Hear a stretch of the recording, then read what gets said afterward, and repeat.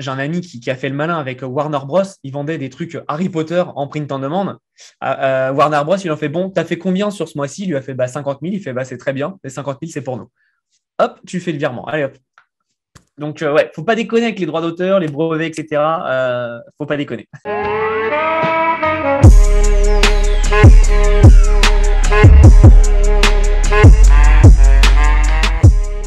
Alors bonjour et bienvenue sur cette nouvelle vidéo.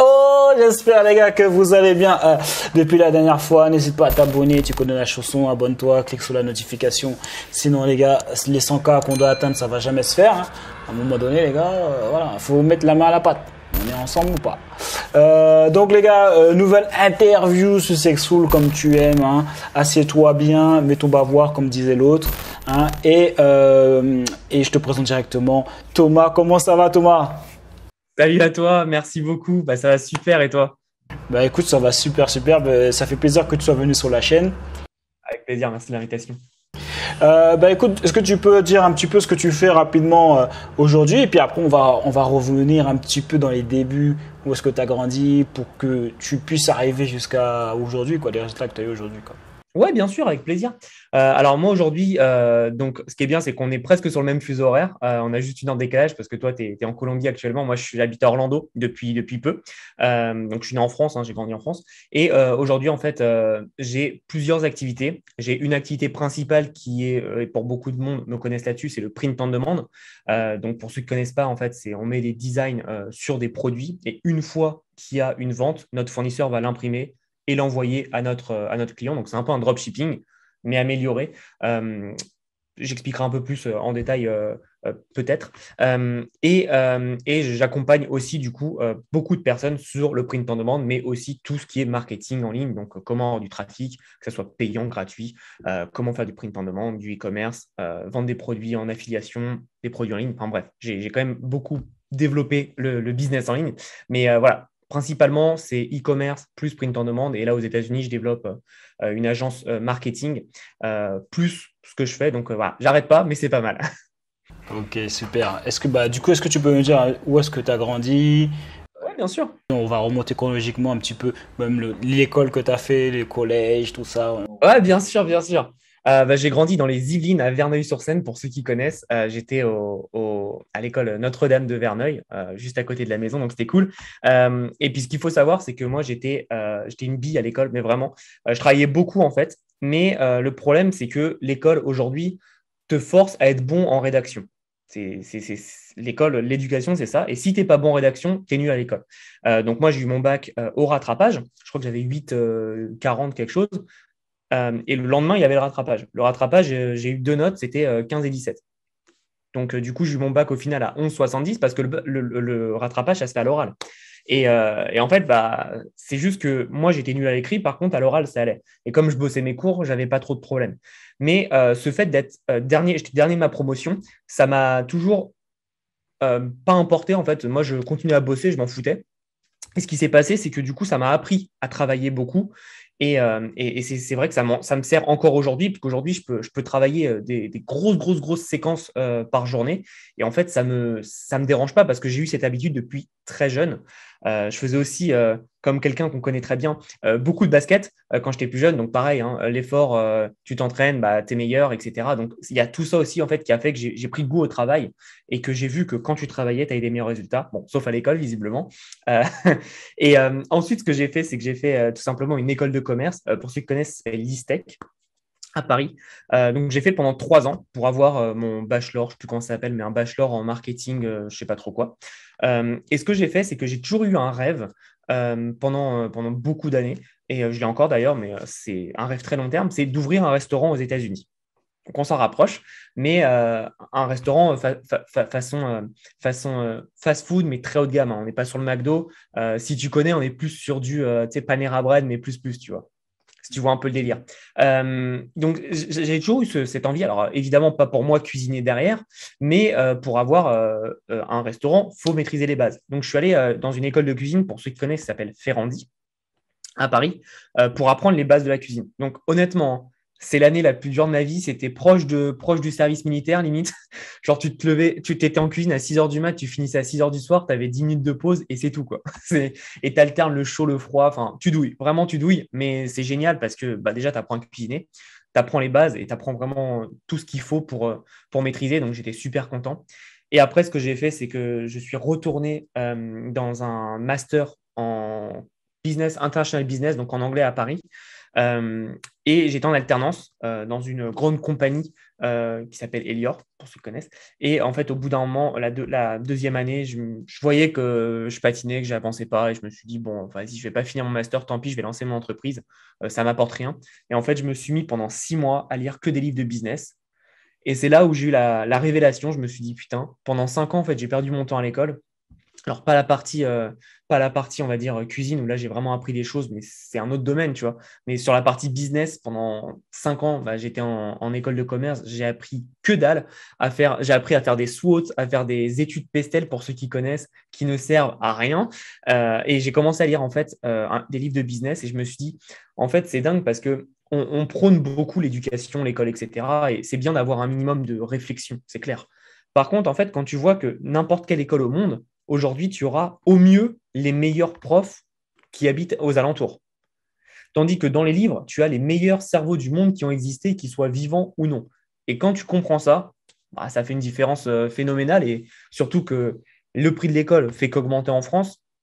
Alors, on n'est pas au niveau des États-Unis où c'est scandaleux, mais le prix de l'école fait qu'augmenter en France. Quand tu vois le prix d'un livre, parfois, c'est 9 euh, euros. Si tu te débrouilles bien, tu peux avoir le PDF gratuit tu te dis, il n'y a pas photo, quoi. Il n'y a pas photo. Euh, donc voilà.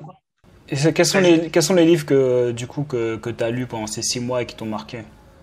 Le, premier qui m'a vraiment ouvert toute cette, euh, cette vision, c'est, euh, je pense, comme beaucoup de personnes, c'est La semaine de 4 heures. parce qu'en fait, moi, ce livre, par rapport à beaucoup de personnes où je sais qu'ils se sont dit, ouais, c'est trop bien, genre c'est un peu un mythe et tout, moi, pour moi, il m'a vraiment appris à, à, être très bon en management moi, c'est ce que je retiens de ce livre, c'est que le mec, en fait, dès qu'il lance un business, il délègue, il automatise et il est tranquille, tu vois. Et c'est ce que je réplique en ce moment dans, tous mes business depuis, quelques années. Et, ça marche vraiment. Et c'est ça qui est ouf.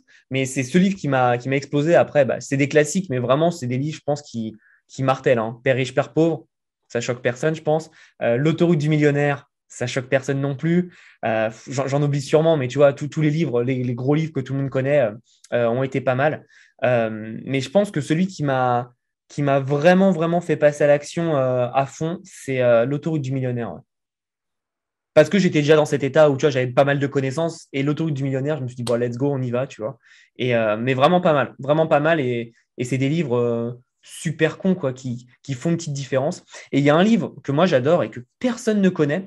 moi, je suis nul en, en, en, vente direct one-to-one, en, en tant que commercial, je suis nul. Mais ce livre, il était intéressant parce qu'il m'a appris vraiment à mieux gérer la vente. Ça s'appelle, alors il faut que je retrouve le nom, c'est de Chet Holmes, euh, qui est malheureusement décédé. Et le mec, c'était un, brillant commercial qui bossait pour euh, Charlie Munger. Donc, euh, je crois que c'est le, si je ne me trompe pas, c'est le, pote de Buffett, de Warren Buffett. et le, le livre s'appelle La prodigieuse machine à vendre ou L'incroyable machine à vendre, quelque chose comme ça. Et en termes de contenu sur la vente, que ce soit de la vente physique ou de la vente en ligne, mais incroyable ce qu'il donne. Euh, donc ça, c'est un livre aussi qui m'a fait prendre conscience qu'en fait, tu n'as pas besoin d'être bon en vente pour vendre. Et euh, vraiment cool, vraiment cool. C'est quoi le titre, tu dis? C'est la prodigieuse machine à vendre ou l'incroyable machine à vendre, un truc comme ça. Mais c'est Chet, Chet Holmes, comme euh, Cathy Holmes, l'actrice. Ok, ok, ok. Et vraiment cool. Et personne ne le connaît, mais euh, vraiment cool. Et en fait, le mec, il a écrit son livre et je crois qu'il est décédé d'une leucémie ou un truc comme ça euh, quelques mois après. Donc, il a, pas, il a peu le temps de faire la promo et d'en faire. Euh, tu vois, donc c'est pour ça que pas de grand monde le connaisse, comme Tim Ferriss, par exemple. Hmm, ok. Ok, donc du coup, tu disais. c'est en anglais ou c'est en français? Je crois que je l'ai lu en français. Ouais, je l'ai lu en français. La prodigieuse machine à vendre, j'ai lu en français. Mais il est évidemment, il est mieux en anglais. Je l'ai relu en anglais derrière. tu as quand même plus de, de petits détails. Quoi. Ok, ok. Euh, ok, donc du coup, euh, ouais, t'as vu l'école, euh, ça servait pas à grand chose. Bah, justement, en même temps, comme ça, ça permet aux gens de savoir aussi. Tu sais, toi, les prix qui, qui se pratiquent pour les écoles aux États-Unis? Ouais, bien sûr. là, je suis avec des, je, suis en train de parler avec des amis qui hésitent à aller à l'école pour faire leur MBA ou non. moi, elle m'a donné, cette personne m'a donné le prix. Je suis parti en courant. C'était 100 000 euros l'année, enfin 100 000 dollars l'année. J'ai fait, mais, mais j'ai fait, casse-toi. J'ai fait, casse-toi. 100 000 dollars, je fais, tiens, je vais donner des livres, t'en fais pas. Mais 100 000 dollars, c'est, un délire. En fait, il y a, y a, plusieurs choses aux États-Unis. C'est, je vais la faire courte, mais en gros, si, tu vois, moi, j'habite en Floride. Si je veux étudier en Floride dans une faculté d'État, donc Florida State, par exemple, euh, je vais payer, dans l'idée, je crois que c'est 10 000, 10, 12 000 dollars à peu près. Et ça, c'est juste le prix de l'école. Après, tu as le logement, enfin bref, tu as compris. Donc, on, monte facile à 20 000, on va dire, sur une année. Si je veux, par exemple, aller étudier, je sais pas, je tape un délire, je me dis, non, je vais aller étudier en Californie. Là, ça va être minimum 40 000 parce que je serai euh, hors de l'État, tu vois. Et ça, c'est sur les trucs publics. Hein. Quand tu montes sur le privé, si je veux monter sur du, euh, je sais pas, une, université que tout le monde connaît, mais euh, bah, tu vois, par exemple, là, il y a le, il y a le, à côté de chez, enfin, à côté de chez moi, 20, 25 minutes de chez moi, il y a une des deux plus grandes universités du pays qui s'appelle UCF, donc c'est University of Central Florida. Euh, donc c'est à Orlando. Le campus, apparemment, c'est, j'y suis pas encore allé, mais c'est une grosse ville et tout. Je crois que là, tu commences minimum à 50-60 l'année. Ok, donc généralement, au minimum, tu t'es parti pour 10K euh, sans côté de logement. Quoi. Ouais, c'est ça. Mais en, général, je crois que la moyenne euh, de dette euh, étudiante, on est dans les 200, 200 cas euh, pour, les, pour toute la, durée des études. Quoi. Donc, c'est un, sacré délire. C'est un sacré délire. Ok, donc du coup, alors là, tu vois, tu, tu t'aperçois que les études, ça sert à rien. Enfin, si, apparemment. Et, que tu, tu, commences à lire pas mal de livres. Qu'est-ce qui se passe après? C'est ça. Et, du coup, là, euh, je lance mon premier business qui est euh, tout simplement un business de, Amazon FBA. Donc, tu sais, tu prends du, stock euh, bah, sur Alibaba, tu l'envoies sur Amazon et, et c'est con, hein, mais tu fais tes premières ventes. Genre, je me souviendrai toujours de ma première vente, c'est euh, un câble USB euh, type C, là, les, nouveaux chargeurs, enfin pour les chargeurs et tout. Et là, je fais waouh, j'ai vendu un truc en ligne, 8,16€ de mémoire. Un truc tout pourri, hein. Tu, ne fais pas de marge avec 8,16€, tu te doutes bien, mais, euh, tu te dis, mais waouh, c'est possible, quoi. Et donc, en fait, du coup, je vais commencer en fait à creuser, creuser, creuser dans, cet univers du e-commerce que j'ai toujours affectionné. Et ensuite, je me lance évidemment sur du dropshipping avec Shopify, tout simplement parce que je me rends compte d'un truc, je fais Amazon, c'est bien, par contre, tu n'as pas tes clients. Hmm. Et euh, tu sais, quand, j'ai commencé, j'avais 25 ans, à 25 ans, tu te dis tu vas monter une entreprise et que c'est bien d'avoir ses clients parce que euh, c'est trop bien d'avoir une entreprise. Alors qu'en fait, euh, aujourd'hui, je suis revenu sur Amazon et Amazon, c'est très très bien et tu n'as pas besoin de tes clients. Quoi. Tu peux faire beaucoup d'argent sans tes clients. c'est juste une stratégie différente, il faut l'accepter. Et donc, j'ai commencé donc Shopify avec AliExpress classique. Et puis, putain, je vois que ça m'emmerde quand même, le, trois semaines de délai. parfois, le produit il arrive cassé, parfois, il n'arrive pas. Euh, n'importe qui peut copier ton site. Hein. Tu sais, je pense que tu l'as, tu, tu, l'as connu. Si tu as interviewé ou parlé avec des dropshippers, c'est ah non, je peux pas te dire ce que je fais. Euh. Je fais putain, c'est quoi ce business? T'imagines, ton business il est tellement nul que tu peux même pas dire ce que c'est parce que n'importe qui peut te le copier. Je fais ok, c'est pas bon. Et là, par hasard, euh, je, vois tout simplement un, truc passer, un, design passé en fait. d'un, d'un américain qui a un ours avec des bois, tu sais, des bois de serre en fait, et en fait, il met euh, un jeu de mots, il met beer. Parce que tu sais, le, le ours en anglais, c'est bear. Et, et, le deer, c'est le cerf. Et en fait, il met le mix et en fait, ça fait beer. Et en gros, le gars, il ciblait que les mecs qui aimaient la bière. Et la chasse, évidemment, tu vois. Et j'ai fait putain, c'est trop malin. Donc, un truc que je recommande à personne de faire, mais j'ai recopié son design. Donc, ne faites pas ça, hein, c'est illégal. Mais j'ai recopié son design et j'ai commencé en fait à, vendre ce genre de, de, de, produits euh, sans savoir que c'était en fait du, du print on demand. C'est-à-dire que je mettais mon design sur, euh, sur mon produit. Et comme je l'expliquais plus tôt, une seule fois que j'ai la, vente, mon fournisseur l'imprime et l'envoie, donc euh, gère toute l'expédition, etc. Donc c'est du dropshipping amélioré, mais ce qui est bien, c'est que c'est automatisé. Tu sais, je n'ai pas à passer mes commandes euh, tout seul, ça se fait tout seul. Enfin, je n'ai pas besoin de passer mes commandes, ça se fait tout seul, justement. les délais de livraison, c'est entre 3 et 7 jours. Donc là, on est bien. Et surtout, personne ne peut te copier normalement. Moi, ce que j'ai fait, c'est totalement illégal, mais euh, en vrai, le mec, s'il m'avait reconnu, il aurait pu aller voir son avocat et dire Hey, ça, c'est à moi, euh, je lui mets un truc. Heureusement, moi, j'ai pas duré longtemps avec ce, design parce que j'ai commencé à me dire Ok, je fais des ventes, mais c'est pas très sérieux, tu vois. Et, euh, en fait, j'ai commencé à bosser avec des influenceurs Instagram sur, sur, les, sur la chasse, etc. Et je suis parti en fait dans cette niche sans le vouloir. donc, je vendais des produits sur la chasse. Et je me souviens, j'ai j'ai fait un, shout-out, ça s'appelait, un placement euh, sur les posts, parce qu'à l'époque, les stories n'existaient pas, euh, d'une page à 2 millions. J'ai mis, je crois, 50 dollars et euh, ça duré deux heures. Après deux heures, le mec supprimait le post, tu vois. Et je crois que j'en ai retiré 800 dollars. J'ai fait ah ouais, ok, ok, là, il y a un truc à faire. Et donc après, j'ai commencé à me développer, à mieux comprendre le print en demande, à faire des vrais trucs. J'ai changé de niche, évidemment. Euh, je suis parti sur la niche de la cuisine, hein, je peux en parler, il n'y a pas de souci. Euh, et là, en fait, euh, il s'est passé un deuxième truc qui était drôle, c'est que je ciblais, tu sais, la femme au foyer de 35 ans, tu sais, genre trop bien, qui a de l'argent, qui se fait un peu chier chez elle, donc bah, qui a envie d'acheter des trucs de cuisine, tu vois. Donc je faisais mi-dropshipping, mi-print en demande. Sauf qu'en fait, mes pubs, donc elles étaient full en anglais, et je commence à voir, tu sais, les noms des clients. Et là, je vois que les noms des clients, c'est que des Gonzalez, des Martinez, des. Bref, que des, que Latinas. Et je fais, putain, merde, je fais ma pub, elle est en anglais. Je, cible les États-Unis parce que je faisais du business sur les États-Unis. Et, et, j'ai que des personnes qui parlent espagnol. Donc, j'ai essayé de mettre mon, mon site en anglais, en espagnol, de mettre mes pubs en espagnol. Je vendais rien. Je fais, attends, c'est bizarre ça. Donc, c'était assez drôle parce qu'en fait, j'avais une idée de la cible que je voulais finalement, c'est pas du tout ce genre de personne que j'ai ciblé, mais qui achetait. Et donc, en fait, j'ai shifté ma communication. Et tu vois, ça m'a appris qu'en fait, bah, même si tu as une idée en business, il bah, faut, faut shifter et il faut être souple et il euh, faut tester. quoi. C'est clair qu'il faut tester. Et donc, après, voilà, j'ai commencé à, faire du print en demande. Et je me suis lancé, donc euh, là, on est en 2017, je me lance sur YouTube et je commence à parler de print en demande. Et en 2017, enfin déjà aujourd'hui, il n'y a personne. Alors en 2017, dis-toi que c'était le désert. Euh, il n'y a, personne qui en parlait.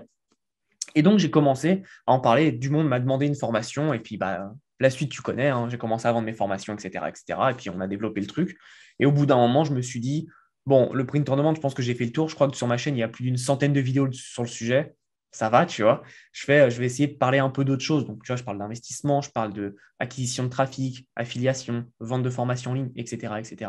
Donc, euh, voilà, j'ai parlé de pas mal de sujets. Et donc, au final, euh, les gens me demandaient des formations. Donc, j'accompagnais, etc., etc. Mais, mais du coup, euh, attends, parce que tu as fait quand même pas mal de business. Quand, as fait, quand tu t'es lancé dans le dropshipping, ça, du coup, tu avais réussi à être rentable. Tu t'étais formé parce que là, on dirait que tu es passé comme ça. Non, non, non, oui, oui, ouais, c'est vrai que j'ai zappé un peu tout. Mais oui, oui, évidemment, je me formais. Euh, je me suis beaucoup formé aux États-Unis. Euh, donc, à chaque fois, en fait, euh, moi, j'ai acheté une formation, par exemple, dropshipping, formation, boum, je mets en place et tant que j'ai pas de résultat, je passe pas à autre chose. Tu vois. Euh, donc oui, j'étais rentable, mais euh, rentable en dropshipping, tu vois, ça veut tout rien dire dans le sens où euh, si je payais, ce que je faisais, hein, mais si je payais tous mes impôts, toutes mes taxes, tous les fournisseurs, etc., à la fin, il me restait 400, 500 euros, quoi. En net, net, net, net, tu vois. Donc c'est très bien, hein, c'est cool pour un business, mais tu ne vis pas de ça. donc, tu vois, en attendant, j'avais toujours mon, j'avais un job à côté que j'ai repris, tu vois, au SMIC, vraiment au minimum. Et en même temps, je fait. Donc, je fait sur le dropshipping, je fait sur la chaîne YouTube, euh, quand je dis dropshipping, c'est aussi print en demande, hein, mais je t'ai fait là-dessus, je t'ai fait sur la chaîne YouTube. Je commençais un peu aussi en affiliation parce que tu vois, à un moment, je me suis dit, euh, bah attends, je sais faire de la pub Facebook, euh, je sais vendre des produits en ligne.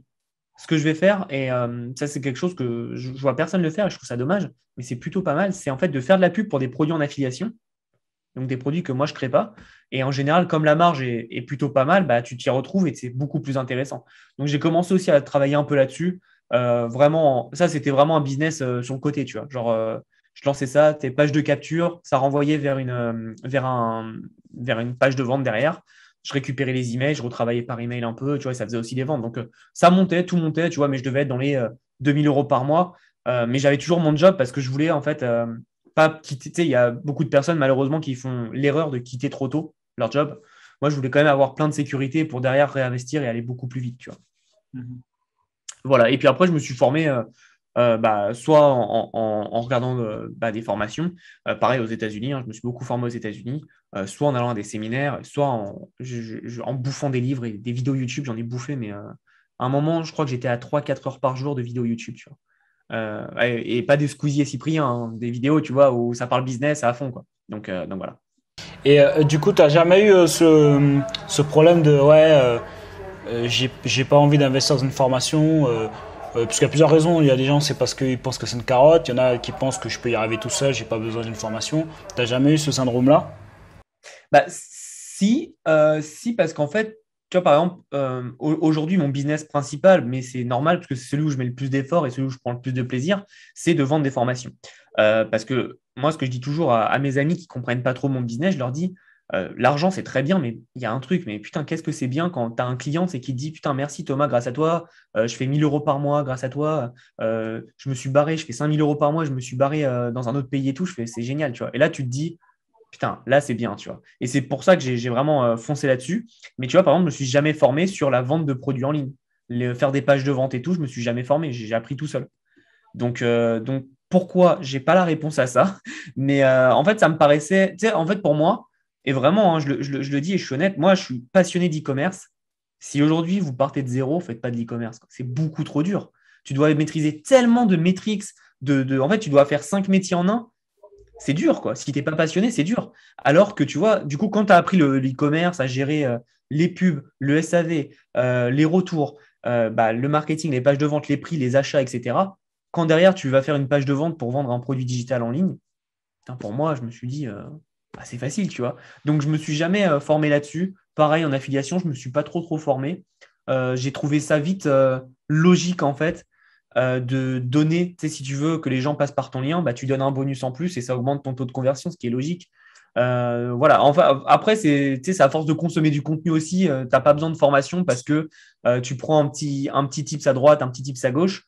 et puis voilà, j'étais déjà dans le business en ligne. Par contre, c'est clair, quand tu commences de zéro, que tu as zéro connaissance, prends un truc, forme-toi et c'est important. Et puis après, évidemment, tu fais des rencontres euh, qui, si tu connais personne, ça peut être du coaching, de l'accompagnement et tout, qui peuvent t'amener à un niveau supérieur. Moi, c'était des rencontres, euh, notamment des personnes que, tu connais comme Maxence Rigotier, comme Olivier Roland.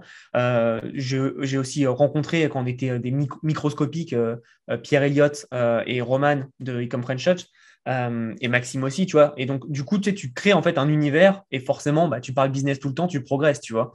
Euh, mais, euh, mais, et je me suis fait aussi accompagner par des, par des Américains qui, qui m'ont aidé sur mon business aussi. Ouais.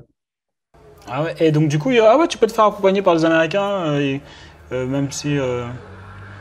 Ouais, bah oui, parce que les problématiques, c'est les mêmes, tu vois. ok, il, il, y en a, ils ne comprenaient pas les pages de vente, évidemment, tu vois, mais, mais je leur disais, voilà, mon, mon problème, à un moment, c'était, je crois en 2019, j'étais à 10 000, euros par mois. Je fais, bon, bah c'est bien, tu vois, mais tous les mois, c'est la même chose. C'est 10 000, 10 000, 10 000, 10 000. À aucun moment, je progressais. Et bah, tu vois, peut-être que tu dois changer ton canal d'acquisition de trafic, peut-être que tu dois faire ça. Tu vois, et c'est des trucs qui, que tu sois au Japon, en France ou aux États-Unis, c'est le même business, tu vois. C'est euh, d'où vient ton trafic, combien te coûte le trafic et combien te rapporte le trafic. Et donc après, tu optimises tout ça, etc. Donc c'est intéressant, quoi. C'était surtout aussi un aspect. Euh, je ne sais pas si tu l'as eu, mais euh, moi, j'ai vraiment commencé le business en ligne sur euh, la vente de formation sur du pur organique. Je vendais tout avec YouTube. Donc, c'était, ça me coûtait zéro. Et tu sais, mentalement, te dire, putain, je vais devoir payer, mettre de l'argent pour espérer avoir des leads, ça a été un gros blocage pour moi. Et en fait, c'est con parce que c'est ce blocage qui, quand il a sauté, bah, ça m'a fait, ça m'a propulsé, tu vois. Hmm, ok. Ah ouais, donc du coup, c'est ça la stratégie parce qu'à l'époque, quand tu, quand tu bloquais à 10K par mois, c'était euh, parce que tu n'achetais pas. Full, de... full organique, ouais. Ouais, ouais, full organique. Et, euh, et du coup, tu sais, tu te dis, euh, ouais, mais là, je suis bien à 10 000. Mais tu sais, 10 000, quand tu es une entreprise, surtout en France, c'est bien, tu gagnes bien, mais tu gagnes pas assez pour trop investir, tu vois. Mm. Donc, tu es un peu entre les deux et, euh, et c'est des petits risques mesurés. Après, il y a aussi, euh, moi, j'ai aussi un problème, c'est quand je me dis, tiens, je vais investir en pub, direct, je me dis, je vais mettre 10 000. Je fais, non, non, attends, sois pas con, mets d'abord un palier de 500 ou de 1000 et t'augmentes petit à petit dès que tu es rentable, tu vois. Mais euh, voilà, il y, y, a ça aussi pourquoi j'avais ce blocage un peu bête. et tu vois, j'ai essayé pas mal de choses. Genre, à un moment, je tournais à un live par semaine, un, un webinaire par semaine avec de la pub toute la semaine et tout. Et tu vois, sur le long terme, c'est pas, tu peux pas. sur le long terme, tu claques.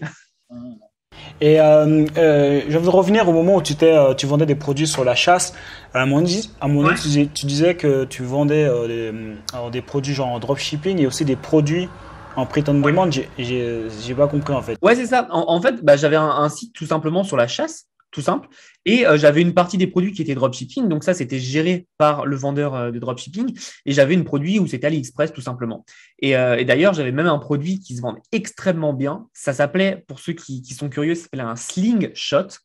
En gros, c'est un espèce de ballon de baudruche avec un anneau en, plastique. Tu mets une bille en plomb dedans, t'envoies et, et ça envoie des, missiles. Hein.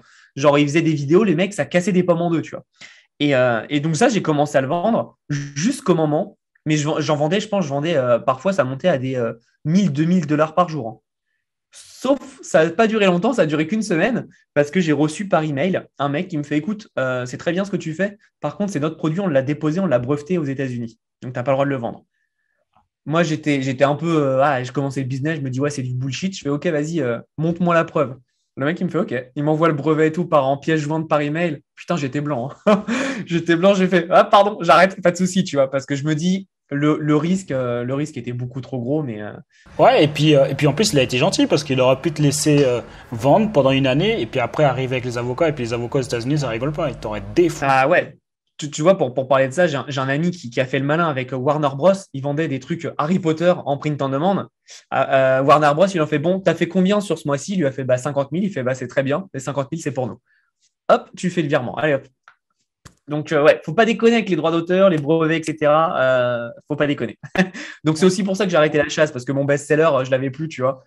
Et, euh, et, puis, petit à petit, tu vois, je voyais que ça descendait. J'ai fait bon, le print en demande, ça vend, mais ça vendait pas aussi bien que ce truc-là. Mais je te jure, le truc était incroyable, quoi.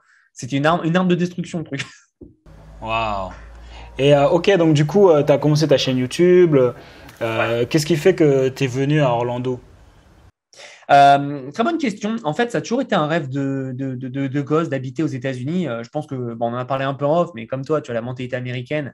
Bah, c'est pas pareil. C'est quand même un autre niveau. Moi, j'ai toujours été passionné de, basket aussi. Donc, j'ai toujours été très imprégné dans cette culture américaine et je me suis jamais retrouvé dans cette culture française.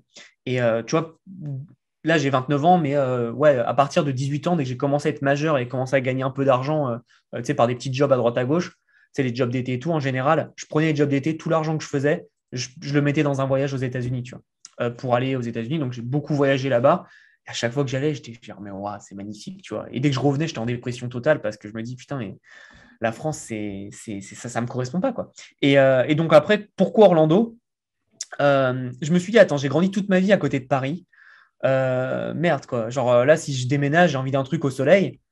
Bon, donc vite, au choix, tu as toute la Sunbelt, hein, donc tu as Texas, Californie, Louisiane, bon, bof, ou Floride. Euh, Californie, j'ai regardé les taxes, j'ai fait non. En plus, tu as 11 heures euh, de, décalage. Non, 9, euh, heures de décalage, mais 11 heures de vol. Je fais, oh, laisse tomber, c'est trop compliqué. Floride, j'y avais été pas mal de fois, j'avais bien aimé. Et, après, donc forcément, tu dis Floride, tu dis Miami. Et moi, je me suis fait, ouais, Miami, tu vois, genre, j'aime bien cette ville, c'est cool pour aller en, week-end, en voyage et tout, mais tu vois, je me vois pas y vivre. Il y avait peut-être Fort Lauderdale que j'aimais bien, à 20-30 minutes au-dessus, qui est vraiment sympa.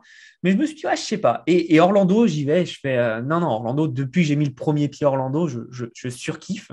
Et il y a aussi quelque chose que j'adore Orlando, c'est qu'il n'y a pas beaucoup de Français.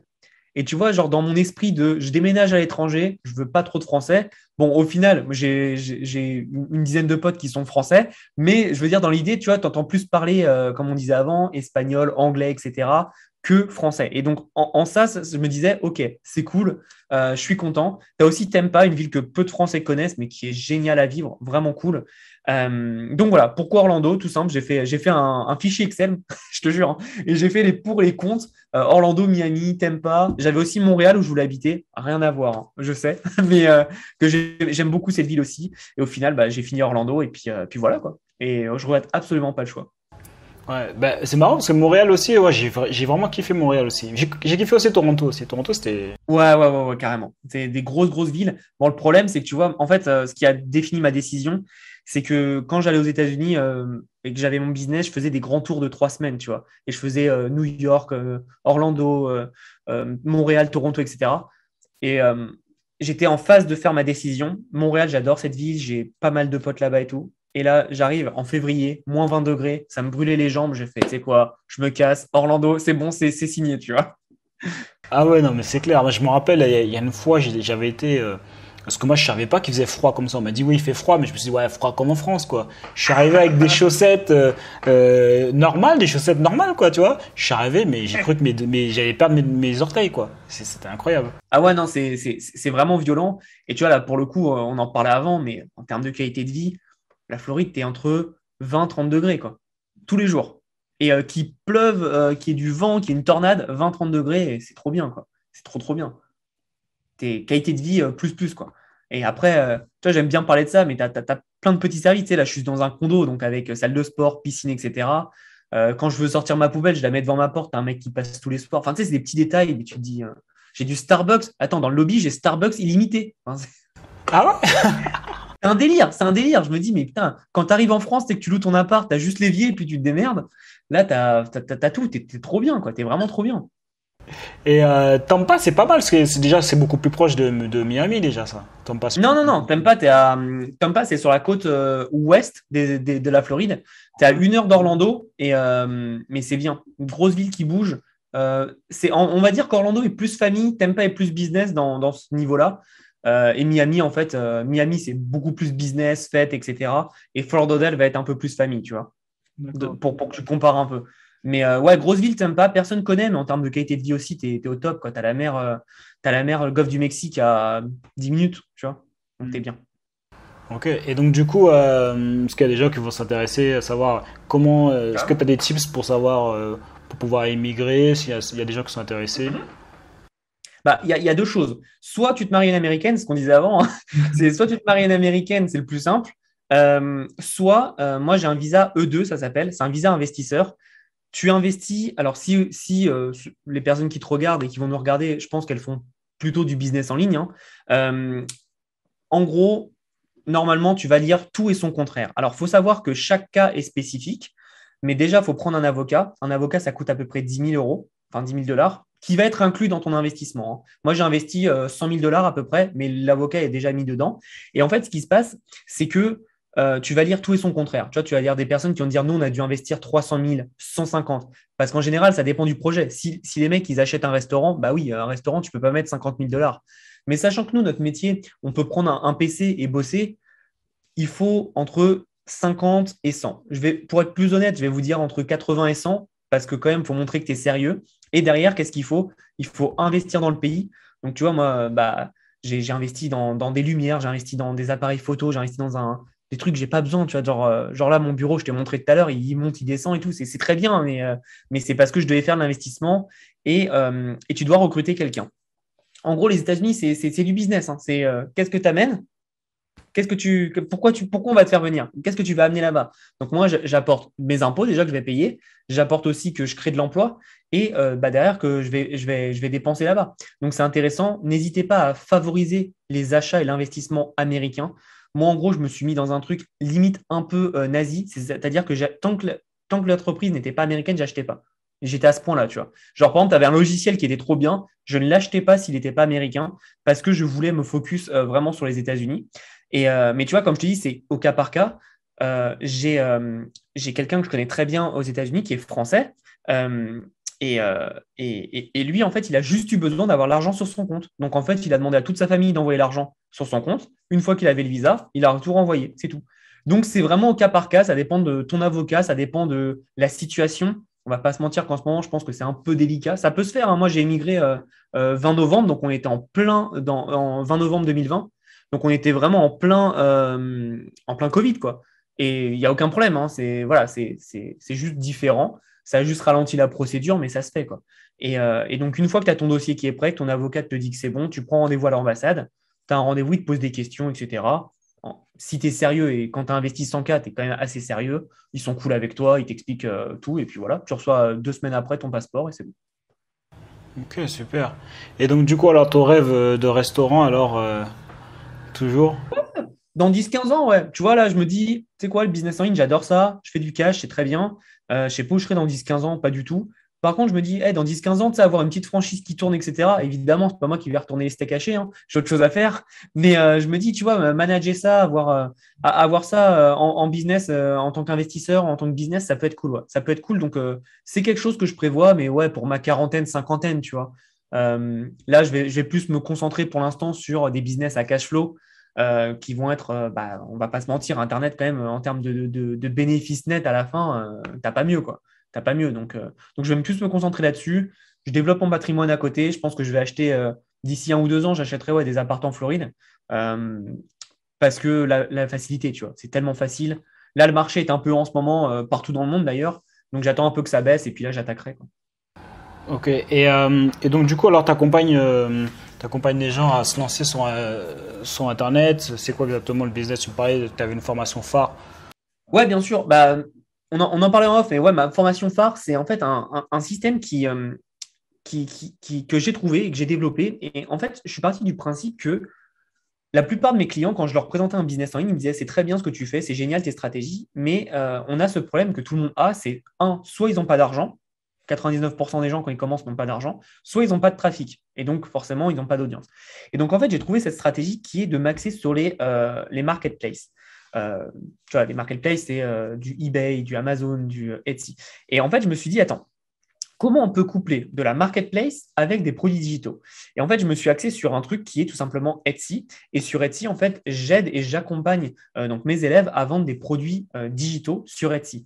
Donc, en termes de produits digitaux, comme je te disais, on peut avoir euh, des templates de post Instagram, des presets, tu sais, sur Lightroom si tu veux changer ou modifier. Tu peux être, ça peut être des calendriers, euh, des planners, euh, ça peut être des, cartons d'invitation pour des mariages, ça peut être des posters, ça peut être de l'art. tu vois, j'ai une élève qui, vend des posters digitaux. Donc la personne doit l'imprimer et euh, elle est entre 1000 et 1500 euh, dollars par mois. Et c'est tout con. Quoi. Le truc, elle l'a fait une fois, elle l'a vendu euh, plus d'une centaine de fois et, et c'est juste bien. Donc tu as plein d'idées comme ça. Tu peux vendre toutes sortes de, de produits digitaux sur, sur Etsy parce que c'est vrai qu'en France, on a, on a cette idée qu'Etsy, c'est le fait main, etc. Oui, c'était le cas avant, mais maintenant, ils se développent pour choper plus de parts de marché, ce qui, est, juste normal. Et en fait, les produits digitaux, il y a peu de personnes qui connaissent cette technique, mais quand tu mets des produits digitaux sur Etsy, euh, tu, fais de la marge de malade. Etsy, en termes de vente, ils te prennent à peu près, euh, allez, on va dire 10%, euh, 10% de ta vente. Dis-toi que si tu vends un truc à 30 euros, bah, ils vont te prendre 3 euros à peu près. Ça te laisse 27 euros dans ta poche. C'est incroyable. Et le trafic est déjà là. de mémoire, si, si je ne me trompe pas, on est entre 3 et 5 millions de visiteurs mensuels juste en France. Après, imagine, tu fais aux États-Unis, je crois que c'est 141 millions euh, ou un truc comme ça. Enfin, c'est énorme. Hein. Etsy aux États-Unis, c'est énorme. Euh, et donc, ça te permet forcément d'avoir bah, du trafic qui vient et tu fais des ventes. Et ce que j'aime bien donner, moi, comme, euh, phrase pour les marketplaces, c'est que plus tu vends, plus tu vends. Parce qu'en fait, eux, ils veulent gagner de l'argent. Donc, s'ils voient que ton compte commence à vendre, ils vont te mettre plus en avant et tu vas faire plus de ventes et c'est une boule de neige. Et si au début, tu ne vends pas, ton seul objectif, c'est de lister le plus d'offres possible, donc le plus de produits possible pour déclencher tes premières ventes qui vont après faire déclencher à boule de neige. Mais ce qui est bien, c'est que ça demande 0 euros d'investissement. Tu n'as pas besoin de gérer les retours, tu n'as pas besoin de gérer le SAV, tu n'as pas besoin de gérer euh, l'acquisition de trafic. J'ai envie de dire que demande le peuple, tu vois Ouais, bah ouais, carrément.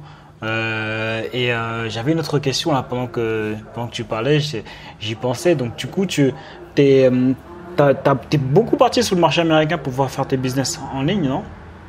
Ouais, euh, alors oui, c'est vrai que c'est vrai que quand tu écoutes que la vidéo, tu dois te dire ça. Mais non, non, j'ai aussi beaucoup de business en France. En général, dès que j'ai un business aux US, j'ai aussi en France.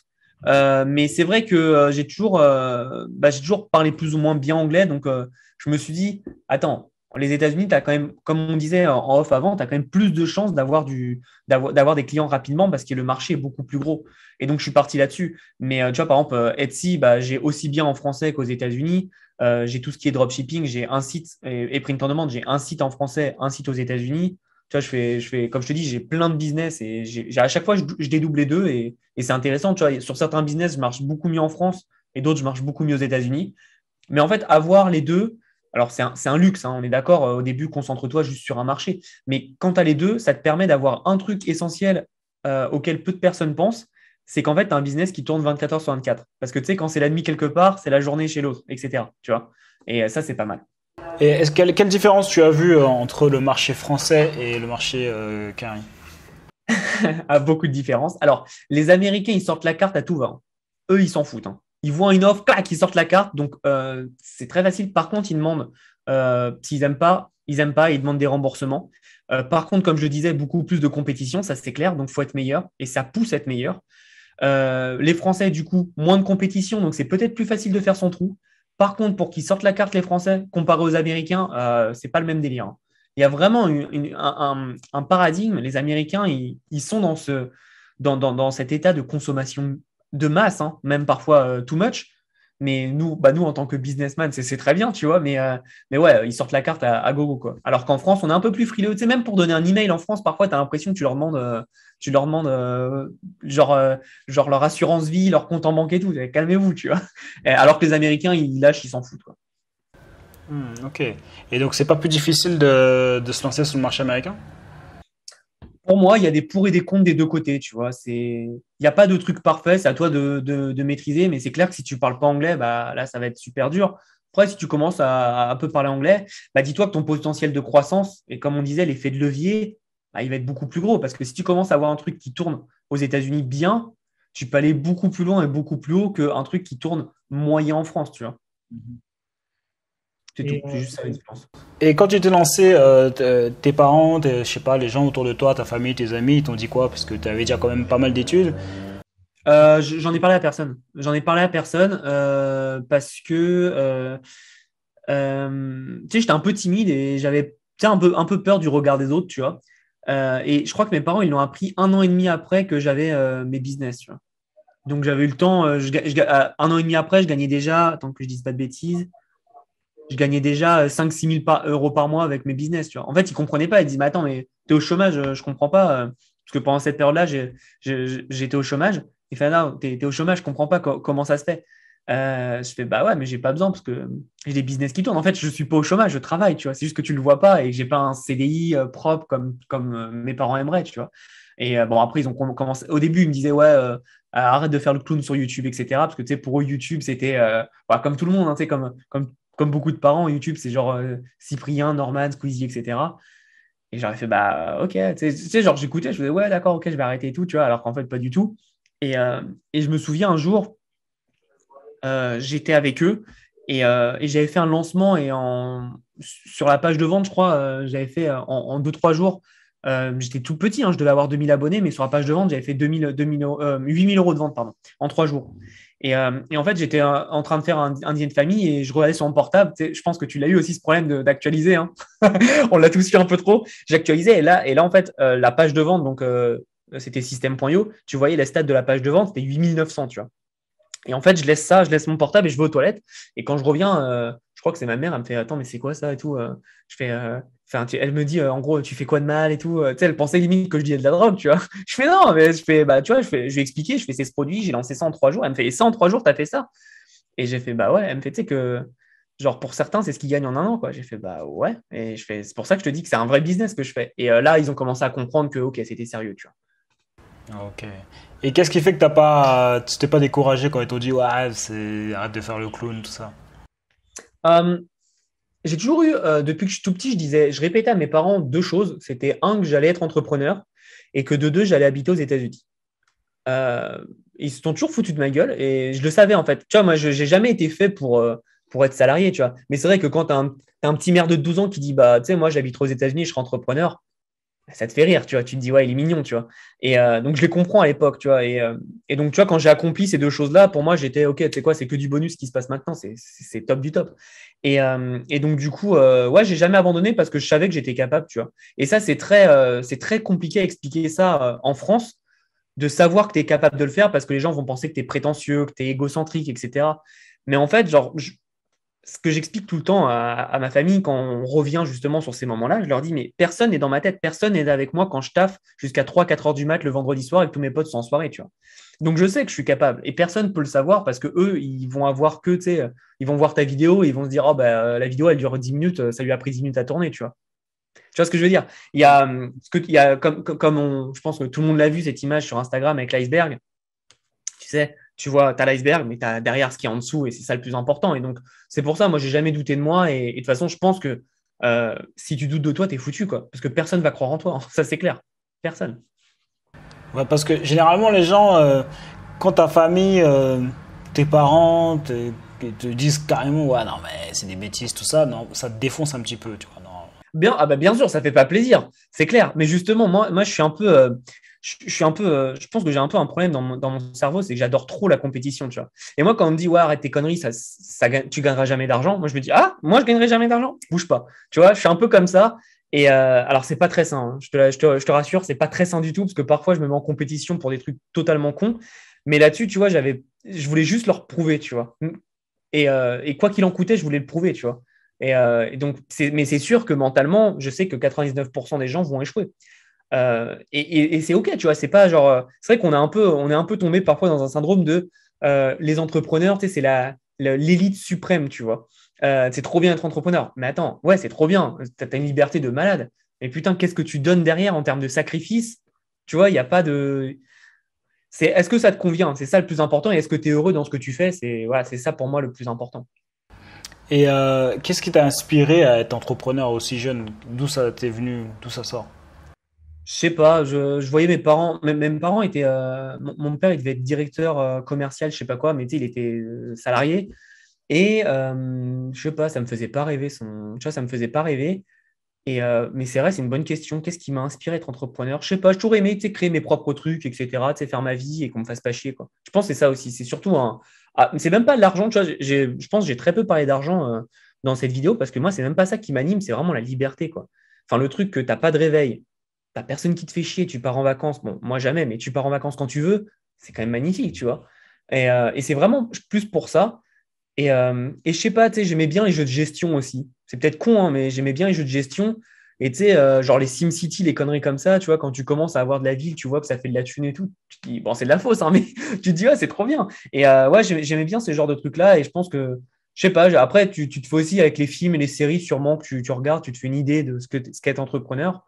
Euh, et, ouais, c'est pour ça. C'est tout simple. C'est vraiment une, recherche de liberté dès le début. Tu sais, moi, le moule, j'aimais pas trop. Quoi.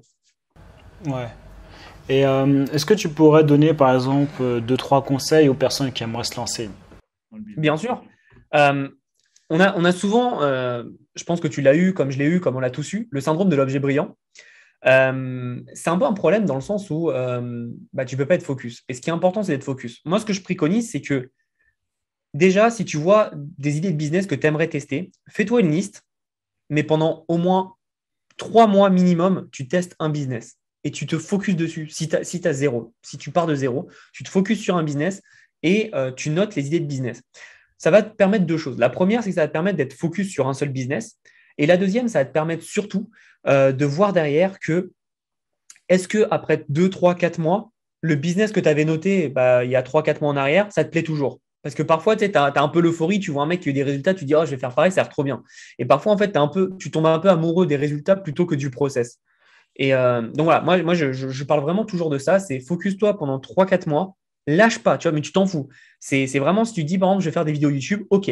Alors pendant 3-4 mois, tu n'arrêtes pas et tu fais que ça. Et pas d'excuses, tu vois. Pas d'excuses.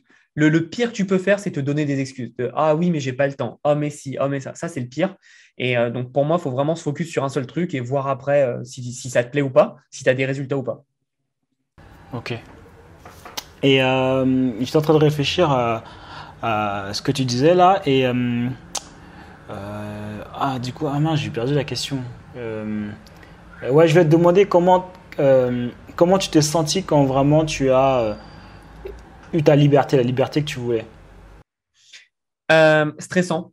Stressant parce que euh, tu te dis, OK, j'ai plus un. Euh, en gros, quand j'ai eu ma liberté, ça, ça a concordé. En fait, ce qui s'est passé, c'est que je travaillais. comme je te l'ai dit, hein, je commençais à faire, de la thune. Je travaillais, mes premières formations commençaient à bien se vendre. Et en fait, donc j'étais au SMIC et j'ai été licencié parce que pour, comment on dit, et, truc, truc économique, raison économique. Euh, en gros, l'entreprise a failli, tu. Euh, et, là, en fait, bon, j'allais avoir un peu de chômage, mais tu sais, quand tu es au SMIC, euh, ouais, tu, c'est, 600 euros, 700 euros, je crois, c'est un truc ridicule. Et en fait, ce qui s'est passé, c'est que là, je commençais déjà à gagner 4-5 000, mais j'avais plus en fait un, système, j'avais plus une rentrée d'argent régulière qui me baquer. Donc j'ai eu un peu peur, tu je me suis dit, wow. Et en fait, ce qui s'est passé, c'est que c'est tout con, hein, mais quand tu fais 4-5 000 euros et que tu travailles, je ne sais pas, peut-être 5-6 heures par jour dessus le matin et le soir sur ton business, mais que derrière, tu as toute une journée pour travailler sur ton business, en général, hein, ce qui se passe, c'est que ton chiffre d'affaires, il explose.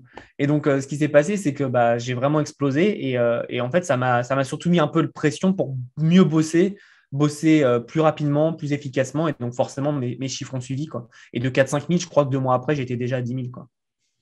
Waouh, énorme.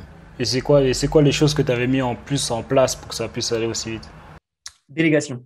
Très important. Euh, tu vois, par exemple, euh, quand je gagnais 300 euros par mois, direct, j'ai pris un assistant. Un mec, je lui ai dit écoute, ok, j'ai que 300 euros pour le moment. Tu vas travailler pour moi jusqu'à ce que tu aies 300 euros de dépensés. Tu vois Donc, en gros, moi, je gagnais plus rien.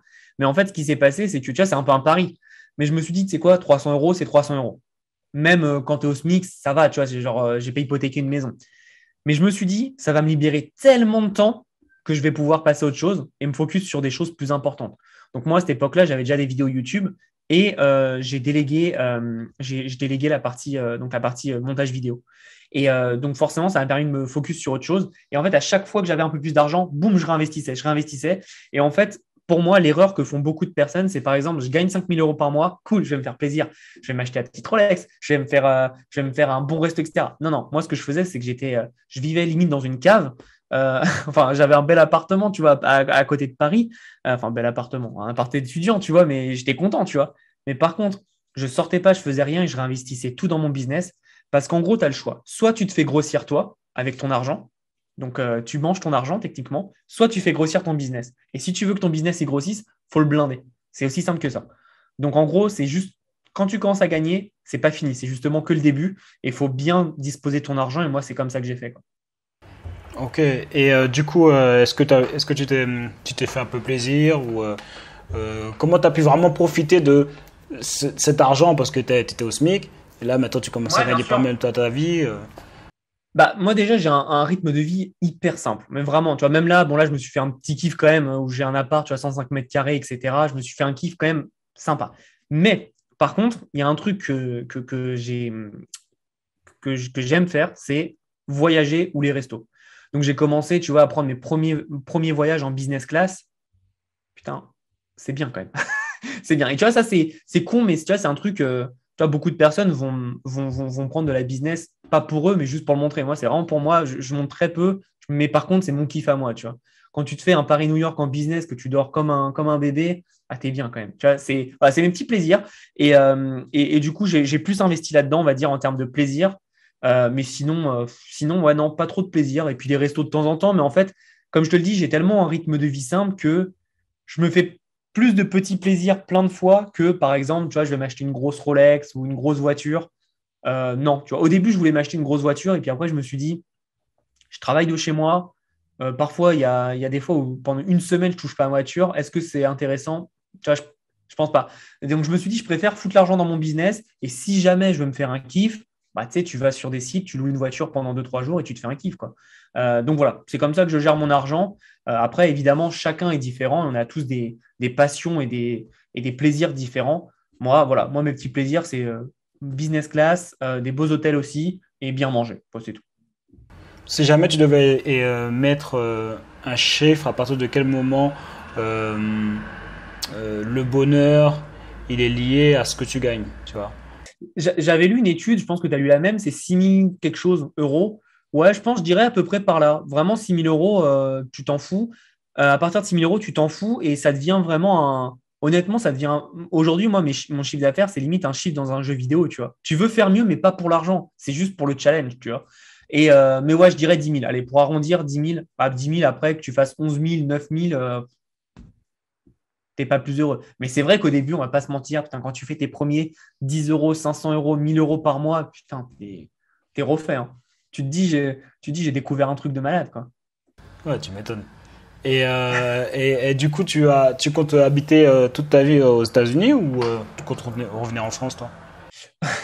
Non, non, non, non. alors, toute ma vie aux États-Unis, je l'espère vraiment. Après, avec les visas, etc., on ne sait pas trop.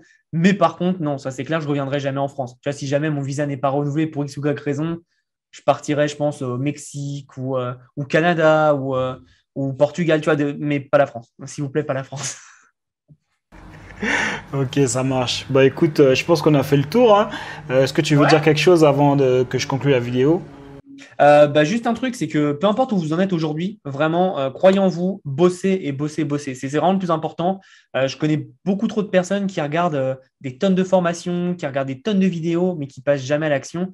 Et je peux vous assurer que vaut mieux ne rien savoir, mais vraiment foncer. Par exemple, vous prenez une formation, vous l'appliquez, mais jusqu'à la moelle, et vous foncez, vous aurez plus de résultats que d'aller picorer à droite à gauche. Vraiment, et, et c'est pas facile. Hein. Être entrepreneur, c'est pas facile, mais c'est le plus beau métier du monde à mon goût. Ok, super. Bah écoute, euh, euh, bah, les gars, n'hésitez pas euh, à mettre un j'aime si jamais tu as aimé cette vidéo. Un j'aime pas si jamais t'as pas aimé cette vidéo, ce que tu penses y a des mythos, etc. ouais, je pense que c'est tout ce que je vais te dire. ouais, voilà les gars. Donc les gars, vous avez, je vais, je mettrai en lien en description pour tous ceux qui sont intéressés. D'accord euh, bah, Ceux qui veulent suivre un petit peu euh, bah, euh, la formation, je sais pas ce qu'on mettra. Tu, on mettra quoi Ouais, bah, je te, t'inquiète, je te filerai le lien. Tu, pourras le partager si, ça intéresse les gens de, pouvoir se lancer avec Etsy avec grand plaisir. Ok, super. Donc voilà, c'est tout pour cette vidéo, les gars. On lâche rien et on reste déterminé. Il y a eux et il y a nous. Ça va être ton camp.